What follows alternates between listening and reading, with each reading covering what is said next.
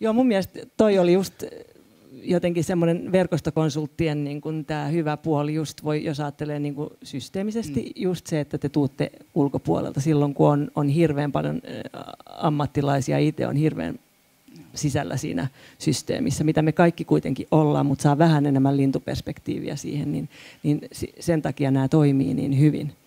Yksi asia, mitä me puhuttiin silloin autossakin mm. ja mitä mä, mä tässä mietin, ja, ja tota, te olette pitkään pitänyt näitä, näitä, teillä on tämä verkosto ollut elossa jo, miten pitkään se on ollut? Oikeastaan näitä verkostokonsultteja, mitä öö, te olette kouluttanut? Tuommoinen reilu 15 vuotta. Niin. Joo. niin sitä mä mietin vaan, että miten, miten niin kuin näitä juttuja opetetaan?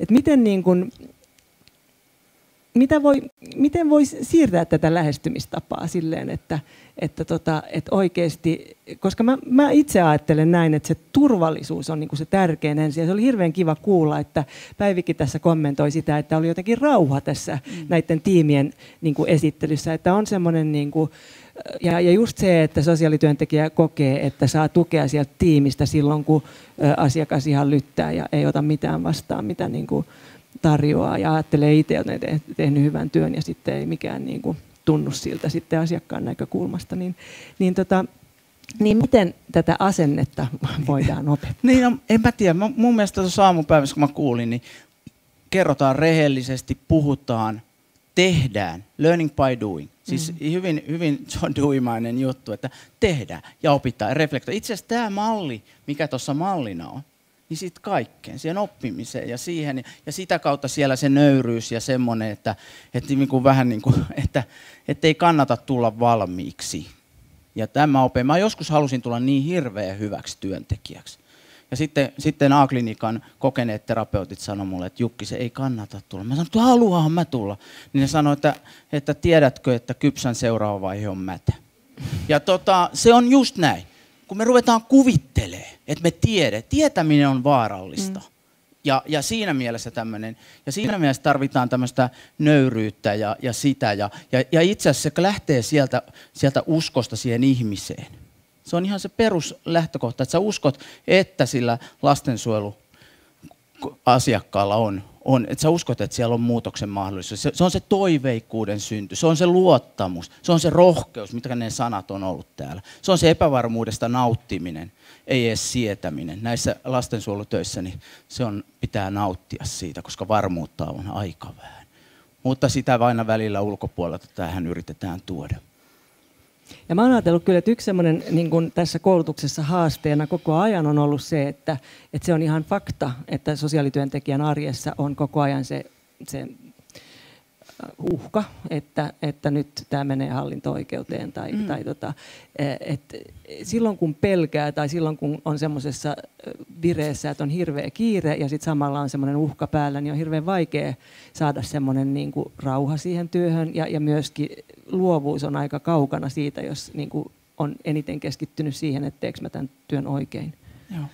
Mä, siis, mä työ vaan mieleen, kun siis se on oikeasti vaikeaa työtä.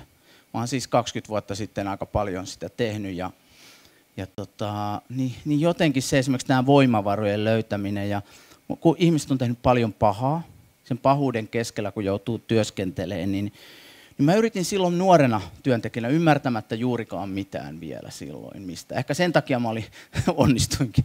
Voi olla, että se oli tärkeämpää, kun ei, eihän osannut, ei ollut oikein menetelmiä eikä mitään, vaan teki.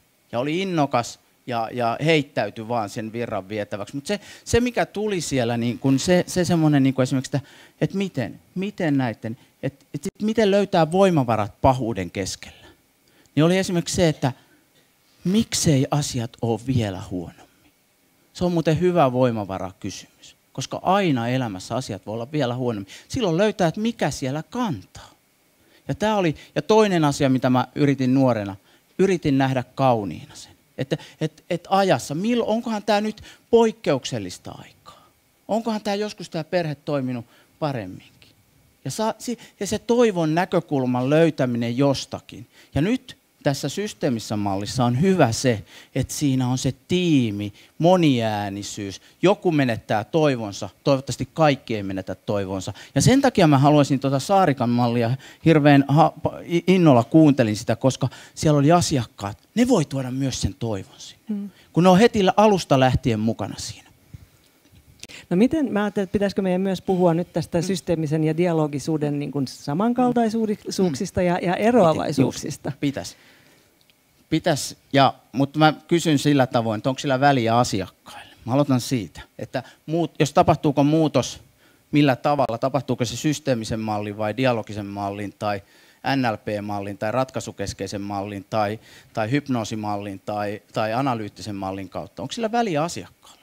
Se on se mun haastekysymys sulle. Joo, kyllä. Jo, jo, joo, ja ei, varmaan, ei varmaankaan ole. Mutta mä ajattelen, että mulla on ollut vähän semmoinen, nyt, nyt mä, mä oon siis hyvin, hyvin pro dialogisuutta, että se ei ole sitä, mutta mä nyt huomaan, että mulla on tämmöinen rooli, että mun pitäisi, niin. Niin kuin, me pitäisi vähän haastaa tässä. Mm. Niin, niin mä, mulla on semmoinen käsitys vaan, että, että joskus kun ö, on tavannut ihmisiä, jotka on käynyt dialogisen koulutuksen, niin mm. ne korostaa vaan sitä dialogia. Niin kuin, että hyvä, että meillä on hyvä keskustelu ja hyvä, että meillä on niin kuin kuunnellaan ja sitten puhutaan. Ja, ja, ja tota, että kerrotaan myös omista niin kuin kokemuksista. Ja, mm. ja, ja jotenkin niin koko tämä konteksti on jäänyt niin kuin veke siitä. Ja siitä syystä mä oon innostunut uudestaan tästä niin kuin vanhanaikaisesta systeemisestä, että pitää korostaa se, että missä nämä keskustelut käydään. Mulla on tota, ehkä sillä tavoin, pitää ehkä, dialogisuus on mulle maailmankuva, ihmiskuva. Ja dialogi on kommunikaatiotapa. Joskus tarvitaan monologia, joskus tarvitaan debattia, erilaisia tapoja. Ne on keinoja. Ja dialogilla on yksi erityinen, ei se ole sellainen hyvä paha, että monologi olisi huono ja dialogi hyvä, vaan, vaan ajatus siitä, että dialogilla on erityinen mahdollisuus tietyissä paikoissa, kun halutaan laajentaa näkökulmia. Mutta dialogi ei esimerkiksi ole päätöksenteon väline kun päätöksenteossa pitää kaventaa vaihtoehtoja, jolloin on monologin paikka. Ja tämä ehkä usein sekoittuu dialogi ja dialogisuus. Ja samaten systeemiset menetelmät ja systeemisyys mm. saattaa sekoittua ihmisten mielissä. Ja, ja, ja, ja mä toivoisin systeemistä ajattelutapaa ja dialogisuus maailmankuvaa enemmän no. tähän, tähän meidän meidän koko touhuun ja siitä, että siitä puhuttaisikin vielä selkiyttävämmin. Joo, ja olisi nämä käsitteet selkeät itselle ja sitten niin kuin osaa myös sanoa, että Joo. palomies ei ole dialoginen. Joo. Että palomiehen kannattaa jo, olla just, niin kuin just, monologinen just. tai silleen niin kuin ryhtyä toimeen heti eikä yhtään pohtia siinä, Joo. mitä nyt kannattaisi, mitä vaihtoehtoja mulla nyt tässä on. Joo. Mm. Otetaanko yleisöltä vähän Joo. ajatuksia? Puheenjohtaja tarvitsee... Varmaan yhtä oikeutettua kuin mikä tahansa muukin. Tota, heti haastan tässä vähän Jukkaa, kun sanoit, että onko sillä asiakkaan kannalta merkitystä, että mitä menetelmää käytetään. No ei varmaan asiakkaan kannalta, mutta tälle tutkijalle ja nuorelle ihmiselle, joka haluaa saada asioihin yksiselitteisiä selkeitä vastauksia. Se ei ole kauhean systeemistä. Tämä on tämmöinen kehitysprosessi, tässä sitä sitten kehittyy. Niin tota, mutta joo, jotenkin niin kun odotin tätä teidän dialogia tässä, koska haluaisin itsekin niin päästä jotenkin tässä kärrylle. Ja mä jotenkin nyt tein itselleni tämmöisen niin rautalanka määritelmän tässä teitä kuunnellessa, että onko dialogisuudessa kyse siitä, että että tuodaan se rakenne, mikä pakottaa niin kuin osan ihmisistä olemaan hiljaa ja kuuntelee, että se rakenne pakottaa niin kuin siihen, että, että nyt niitä on pakko kuunnella ja sitten kun se yksi puhuu ja sitten vaihdetaan sitä roolia. Ja sitten tässä siinä systeemisyydessä ei ole tavallaan tällaista pakottavaa rakennetta. Saanko vasta? Tuota, riippuu dialogimallista. Avoimissa dialogeissa ei, mutta ennakollidialogeissa kyllä. No mä Riippu, ri- Mä vastaisin tuohon noin, että mä oon ajatellut, että se mikä tekee tästä niin kuin systeemisen lastensuojelun toimintamallista niin kuin systeemisen on se, että tässä on todella huomioitu tämä tiimirakenne ja, ja, tota, ja, ja koko tämä, niin kuin miten tämä viedään, niin, että et siinä on niin kuin rakenteet ja puitteet sille dialogille. Ja, ja, ja että sitä on ajateltu silleen, että, että se, että se niin kuin, työntekijöiden tuki tulee sieltä tiimistä ja, ja sitten tiimin tuki tulee sieltä johdosta. Ja, ja se tekee sen, että ne, ne työntekijät voi olla rennompia sen asia, ja, ja, ja joustavampia sen asiakasperheen kanssa. Ja, ja tietysti se on niin kuin tärkeää, että siinä mielessä, että, että se perhe saa sit joustavaa, just heille sopivaa palvelua. Ja, ja, ja mä ajattelen, että se on just tämä niinku vuorovaikutus tämän rakenteen ja sisällön kanssa. Että siinä on rakenteet myös sille, että luodaan tila oikeasti näin hektisessä työssä kuin lastensuojelussa, että on näitä niinku neljän tunnin tiimejä siellä. Niin voisi ajatella, että asiakkaalla on oikeus ajatteleviin työntekijöihin myös. Niin kuin just toi, toi niin kuin, se voisi olla semmoinen ohjaava periaate. Mä en tarkoita, että ei ole tähän mennessä ajateltu, mutta siis ihan vähän pysähdytään ja tutkitaan eri näkökulmasta. Eikä se välttämättä tarvitse edes neljää tuntia. 15 minuuttiakin on paljon, koska ajasta on pulaa. Siis mä ajattelen, että jokaisella asiakkaalla, ei vain systeemisen lastensuojeluasiakkaalla olisi oikeus ajatteleviin työntekijöihin. Siis sillä tavoin, että tutkittaisiin, et, etittäisiin erilaisia vaihtoehtoja. Okei, mä en ole ihan varma, saanko mä vielä vastausta, mutta mä annan seuraavan kysymyksen Katjalle. Ai pitikö kysymys vai voiko kommentoida? Joo, eli mä oon Katja Sankalahti ja mä oon Jukkiksen lähikollega. Ja tota, tästä tulee niin kuin tosi kivaa keskustelua ja hahmotusta ja mä mietin itse, että mitä mä tästä ajattelisin, koska, koska mä oon ajatellut, että systeemisyys ja dialogisuus eivät ole vastakkaisia tai poikkeavia, vaan he, ne ovat niin kuin ehkä yhtä suuri kuin merkki siihen väliin. Ja, ja se, mitä sä Kati esitit tuossa aluksi, niin ihan hyvin mä voisin dialogisessa koulu, dialogisuuden koulutuksessa esittää samat asiat, että kontekstisidonnaisuus ja kohtaaminen ja, ja luottamus ja valta-asetelmat ja ihan niin kuin samat tekstit. Ja tota, mä mietin sitten tässä tätä Elinan kysymystä, että, että niin kun, kun mehän mietitään myös meidän, nyt pitää erottaa, että dialogisuus suhtautumistapana, dialogi ja sitten taas meillä on menetelmiä, joista Jukkis kertoi, tämä ennakointidialogit, muun muassa siis verkostokonsultit, mistä te puhuitte, niin toisistaan irralliseksi. Ja me mietitään myös verkostokonsulttien koulutuksessa ääneen ajatellaan sitä, että mites kun me puhutaan dialogisuudesta ja sitten meillä on strukturoitu väline, meillä on strukturoitu menetelmä, miten me siihen suhtaudutaan, se tästä ää, rakenteeseen pakottamisesta. Ja tota, mutta että sehän tarkoittaa itse asiassa sitä, että sillä on systeeminen ajatus. Luodaan turvallisuutta, kun sulla on ennakkoon tiedossa selkeä struktuuri, ei tule mitään yllätyksiä. Samahan meillä on läheisneuvonpidossa niin kuin ajatuksena. Ja sitten tota, ää, siellä sisällä tapahtuu sitä ääneen ajattelua. Ja, ja se, että mikä siinä on tärkeää, niin se lähtee aina sieltä lapsen ja perheen näkökulmasta liikkeelle, mikä on paradigmaattisesti ihan äärimmäisen keskeinen asia, että lapsi ja perhe ovat ensisijaisesti määrittelemässä ja ammattilaiset vastaavat siihen omista toimintamahdollisuuksista käsin. Et sillä tavalla niin tämä, tämä rakenne, joka voi tuntua ehkä puhumisen ja kuuntelemisen erottaminen niin pakottamiselta, niin kuin sä Elina sanoit, niin tota, se itse asiassa ää, lisää kuuntelua ja lisää sitä aitoa puhetta. Että ehkä tämmöisiä ajatuksia tuli nyt tähän. Saanko mä kommentoida tähän kanssa? Kommentoi ja sitten näyttäkää viitakkaa, jos mä, jollakulla on Mä ajattelen, että äh, varmaan nämä mm, koulutusmateriaalissa on nämä puut ja tämä historia. Ja, ja, ja koko ajan on se kysymys just, että miten kannattaa opettaa näitä asioita. Että onko siitä mitään väliä, niin kuin, että miten tämä on kehittynyt. Että ensin oli systeemisyys ja sitten Suomessa erityisesti, koska meillä on Jaakko Seikkula ja, ja hänen tutkimus, joka on niin kuin avoimesta dialogista ja, ja että noi Angel ja Eriksson ja kaikki teidän porukat on tehnyt tätä pitkään, niin dialogisuus on tullut aika niin kuin synonyymiksi täällä Suomessa. Näin ei ehkä ole esimerkiksi muissa Pohjoismaissa tai Euroopassa, Englannissakaan niin kuin sillä lailla. Ja, ja mä ajattelin, että voidaan olla hyvin ylpeitä tästä, tästä tutkimuksesta ja tästä työstä, mitä täällä on jo tehty. Mutta siinä on just ehkä se, se niin kuin tämä, tämä käsitteiden hämmennys on sitten tapahtunut myös. Ja siitä syystä mä ajattelen, että on tärkeää tuntea ne juuret ja miten tämä on kehittynyt, tämä, tämä niin kuin perheterapeuttinen ajattelu, joka on levinnyt sit muille aloille, niin kuin nyt se on leviämässä lastensuojeluun. Niin tota, mutta kyse on siitä, että mikä on, niinku, mikä on asiakastyössä tärkeää. Pitääkö tietää kaikki nämä, historialliset vaiheet vai, vai tota, millä lailla tämän ottaa haltuun parhaiten?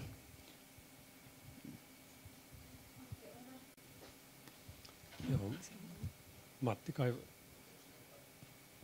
Matti Kaivossa ja mä on iltapäivällä käytän puheenvuoron, mutta mulla menisi koko aika omasta esityksestä, jos mä säästäisin nämä sinne. Niin mä haluan kiittää Siis tämä on, on todella niin mun mielestä on tosi tärkeää, että te tuotte, kun sä kysyt, että kannattaako, kannattaa avata se, miten ajatellaan. Ja itse ajattelen, kun on ollut vähän niin kuin 90-luvun alusta kummankin asian kanssa tekemisissä, että yhdellä tavalla on kysymys kuitenkin siitä, että molemmissa te tuotte niin kuin asioita. Sanotaan niin, että toisella olisi Google Maps ja toisella olisi Applen kartat.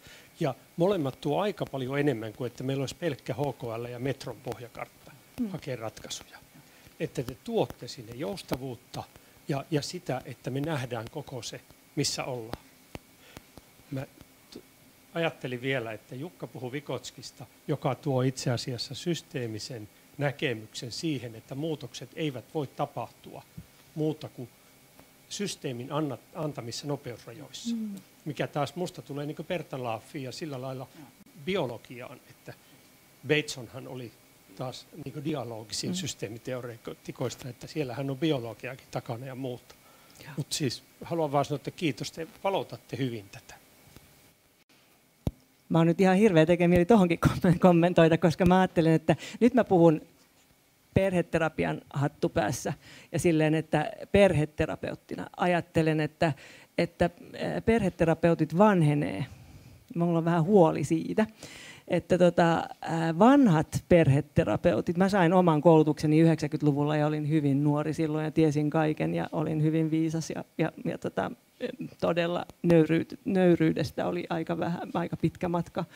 Mut tota, mutta nämä vanhat perheterapeutit tietää tämän historian, mutta nuoremmat ei välttämättä. Ja tämä on just se mun kritiikki tälle dialogisuudelle, että se helposti luullaan, että se on vain sitä, että käydään hyvää dialogia. Ja, ja tämä, tämä niin kuin, ää, niin. Että, Mä, niin, että sen takia ei, mun mielestä tämä systeemisyyden niin kuin käsite pitäisi taas nostaa esiin ja, ja saada tämä vielä korostus tähän, tähän niin kuin Ja mä ajattelen, että siinä yhteistä taas siitä sillä on näkökulmaisuus. Siis se on yksi semmoinen iso juttu, se on systeemisen, miten me löydetään uusia näkökulmia. Se on myös dialogissa. Miten sä, ja se, että miten minä löydän. Ei se ole pelkästään se muuto, että se tärkein muutoksen kohde on minä. Mm ja minun ajattelu, niin kuin Matti sanoi, että miten me ollaan rikkaita siinä sisäisessä dialogissa, miten meidän systeemit, sattumat ja miten me kytketään, löydetään keksintöjä. Ne on niitä arjen innovaatioita, että, että me muutetaan niitä ajatuksia siinä joku ulkopuolinen kouluttaja, työnohjaaja, mikä se onkaan siellä tiimissä. Se voi olla sellaista, miten aktiivijousitus keksittiin. Kun insinöörit rupes miettiin itsestään selvää, että renkaat on pyöreitä, mutta kun ne miettii, että jos, entä jos renkaat olisi neljöitä? Miten me saataisiin se auto meneen ja sillä keksittiin aktiivi. Eli me voidaan siellä arjessa keksiä. Ja tämä on sitä arjen innovaatiota, että kun lastensuojeluperheiden kanssa pitää keksiä, mutta ne kannattaa ottaa yhdessä keksiä. Sen takia mä liputan tätä Saarikon mallia, koska että otetaan heti alusta lähtien ne, ne keksintöjä, tekee niitä keksintöjä. Ja silloin me tiedetään, ne perheet kertoo, mikä on lähikehityksen vyöhyke. Ei tarvitse itse tietää.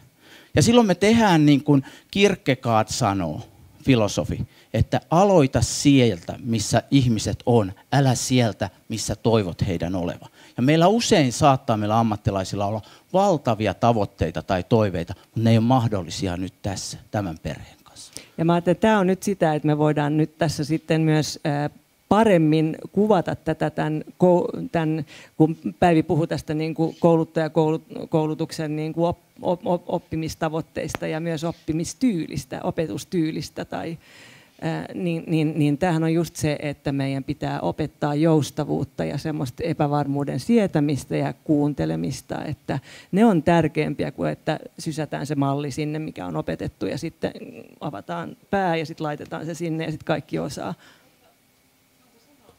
Heivi? Että se mikä näissä kaikissa erilaisissa tiimeissä kuitenkin oli tärkeää ja on tavallaan ehkä sitä semmoista yhdenmukaisena mielellään toistuva, on se rakenne, joka ylläpitää tätä järjestynyttä, joustavaa, monipuolista juttua. Että vaikka moni asia eläisi siellä, niin sen rakenteen on kuitenkin tärkeä olla samankaltainen, eikö Kyllä, niin? ehdottomasti. Ja, ja Elina on ollut ihan hirveän tärkeä tämä, tämä kriittinen ääni tuolla koulutuksissa aina, mutta minä en ymmärrä, rautalangalla väännetään, miten tämä nyt sitten tehdään silleen, että mikä tässä on yhteistä kaikilla. Ja aina pitää olla joku tämmöinen vastaran. Joku, joka tekee niistä pyöristä neliskulmaisia. Olisiko vielä, nyt on varmaan yhdelle kysymykselle vielä aikaa, jos joku Ellei, niin kiitän teitä paljon tästä esityksestä ja dialogista. Ja tota,